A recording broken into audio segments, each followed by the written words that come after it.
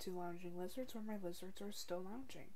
Uh, today I'm going to talk about some of the things that I didn't put into the first video for tank setups. Uh, came to my attention that there were a few things that I should have mentioned, uh, but I completely forgot to mention, so um, we're going to go through some of the things that were brought up um, to me from a comment on the last video. So let's uh, let's get going, shall we? Because leopard geckos have such sensitive eyes, you want to make sure that you're only using lights in two in the two ways that I suggest. One is that you want to use it if you're only giving calcium without D3. If you're giving calcium with D3, lighting should not be, you don't need to include it. Um, another thing is that they they are nocturnal and if you have them in a dark area in your house let's say you have a basement there's not a lot of light down there then yes absolutely put a light so that they know with their internal clocks what time it is and so that they know when to come out and when to go back into their hides. Um, you know and it's just it's just something that you really want to keep open to, but you don't want to say, I'm not going to get lights for them because I don't need it. If you want to get them, go ahead. You can have them.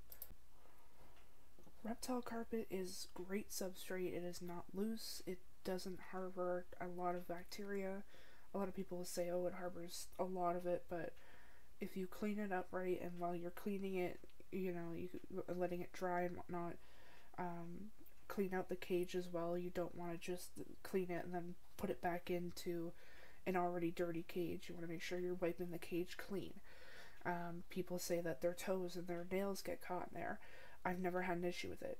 Um, I will say that I feel like sometimes put the they put them on the wrong side. Uh, a lot of the times we'll put them on the on the fluffy side, uh, where the fibers stick out more. If you flip it over, there's a bit of a rougher, thinner side. Use that side. They don't get their teeth cut. I've never had an issue with their toes getting ripped off from it. So, you know, um, that's pretty much it. I, you know, yeah.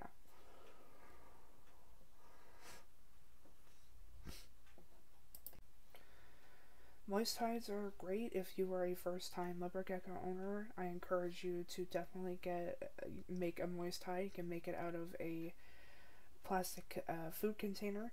Uh, you basically just have the lid on there and you take the lid and you put a hole in there roughly a little bit bigger than the size of your gecko and you line it with paper towel or you can use sphagnum moss, eco earth, whatever to keep it nice and moist. Um, but if you're like me and your geckos shed around the same time during uh, the span of a week, um, I basically just doubled the warm hide as a humid hide uh, throughout the span of a week for them. Uh, and usually I'll just take a, a, water bottle, like a sprayer, spray down their mats, and then they're fine. I've never had an issue with that, which is why I kind of uh, forgot to mention it because I'm so used to doing it. So, yeah.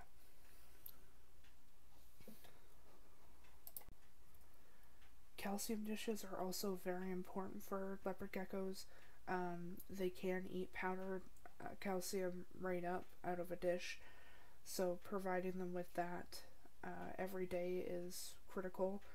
Um, my all of my geckos except for one refuse to eat powdered calcium. So my trick is that I get liquid calcium and I put it into their water and they drink it up and I've never I haven't had an issue with it um, and it's readily available all the time because I can never consciously not put a water dish in with my animals. So, you know, um, yeah, and a lot of the times people will buy like the the reptile themed things. You don't need to. Just use like an eight ounce deli cup lid. You're good to go. It'll be easy for them to get into. So, yeah. Another thing I forgot to mention that I do actually own is a rheostat, or it's also called a thermostat. Um, they are amazing. They help control the temperatures, um, especially where I live. Temperatures are pretty um, up and down in terms of, um, you know, degrees um, throughout the year. So it does help with that, so I would strongly suggest getting either a digital one or you can get one that is just the dial. I think it's from Zoo Med, Zoomed Rheostat, yeah. Um, they help immensely, especially during the winters. So I would suggest that you get your hands on one of those as well, just to control the temperatures, um, and try hooking it up to a uh, reptile heat cable. Um, and those have a bit more wattage to work with, so yeah, we could do that.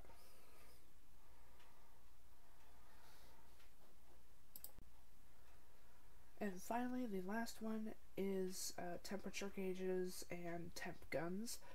Um, I would strongly suggest a temperature gun. Uh, you can go on eBay, you can probably find one for about 12 bucks at the cheapest. Um, they're more accurate than a analog one. Um, but if you want to go pretty simple, use an analog one and put it close to where their heat source is, um, near the bottom. Uh, don't put it all the way up at the top in the middle of the cage that's not going to read anything accurately and you're going to be constantly worried. Um, but you know, I would I would more or less suggest a temperature gun, like an infrared heat infrared temp gun, instead of a analog one. Um, you can get ones with little probes, um, but my thing was I used to have them and my geckos would get tangled up in them, so um, you know, temp guns are probably your best bet. I'm hoping that this second video will help you to really get into keeping your animals healthy and happy. Um, and to the person that left the comment on the last video, thank you very much for pointing out things that I completely forgot about. Um, when I am filming, I don't necessarily remember some of the things that I'm supposed to say. So, thank you very much.